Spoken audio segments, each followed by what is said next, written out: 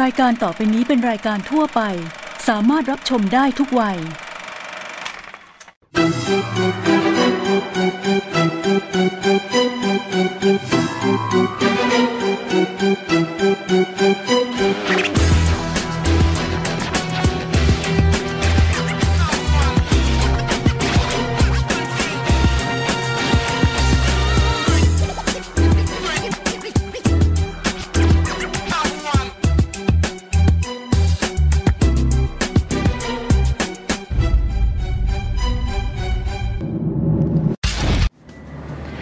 วัสดีค่ะ พบกับวิวคงชนกกันกลับกับรายการ Sport Mafia รายการกีฬา sportainment ที่รวบรวมเรื่องของไลฟ์สไตล์ และทุกช็อตเด็ดของวงการกีฬาทั่วทุกมุมโลก ข่าวดีสำหรับวงการกีฬาฟุตบอลไทยค่ะ ที่หลายๆ คนตั้งหน้าตั้งตารอมานานแสนนาน นั่นก็คือการที่ฟีฟ่าได้ตัดสินใจว่านำเทคโนโลยีนะคะของ VAR หรือการตั้งกล้องวิดีโอมาช่วยในการตัดสินค่ะ ซึ่งบางคนอาจจะบอกว่าไม่เห็นด้วย เพราะว่าการตัดสินพลาดของกรรมการบางทีมันคือเสน่ห์ของกีฬาจริงเหรอคะคุณผู้ชม หรือการที่บอกว่าเป็นเสน่ห์ของกีฬาเพราะว่าฝั่งที่เชียร์ได้ผลประโยชน์ และฝั่งที่ไม่ได้ผลประโยชน์ล่ะ ยังคิดว่าเป็นเสน่ห์ของกีฬาอยู่หรือเปล่า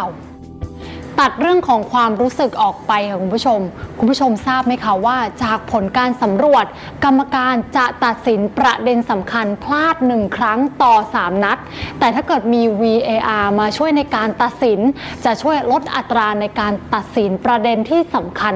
พลาดเหลือแค่หนึ่งครั้งต่อ 19 นัดค่ะ และนี่ก็คือสิ่งที่วงการฟุตบอลไทยรอมานานแสนนานค่ะ และในที่สุดฟุตบอลไทยของเราก็จัดไปค่ะ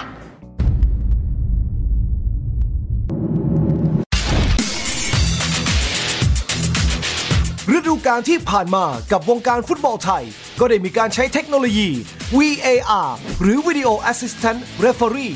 ที่เป็นการตั้งกล้องวิดีโอในสนามแข่ง ช่วยสร้างความยุติธรรมให้ทั้งผู้เล่นและกรรมการ ซึ่งก็ต้องบอกว่าอาจจะมีอุปสรรคบ้าง เพราะบางสนามไม่มีพื้นที่สำหรับอุปกรณ์บ้าง หรือมีการบีบบังคับให้กรรมการต้องใช้ VAR บ้าง